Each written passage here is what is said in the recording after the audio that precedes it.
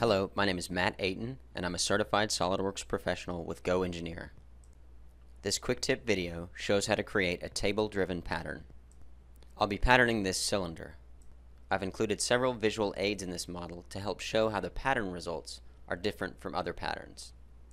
These include the XY, YZ, and XZ planes, the color-coded sketch showing the alignment of the coordinate system I'll create, and the plane for the pattern instances. Table-driven pattern is found on the drop-down for feature patterns. It requires some additional inputs over other pattern types, including a table of course. I'll use a text file with x and y coordinates on each line, separated by spaces. It also requires a coordinate system.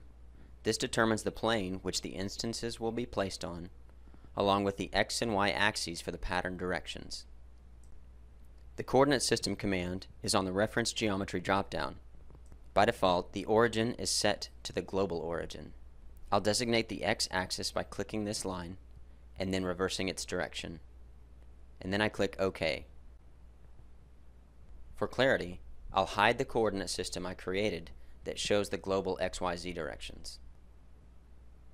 Now I launch the table-driven pattern and in the dialog I use the Browse button to locate and designate the text file of pattern coordinates.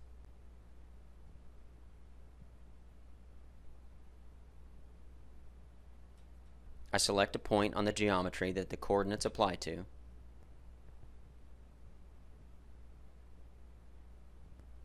I select the coordinate system, and then I select the cylinder as the body that I want to pattern.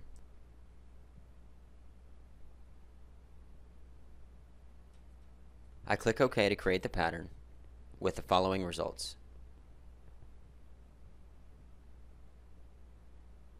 This has been Matt Aten with GoEngineer. Thanks for watching.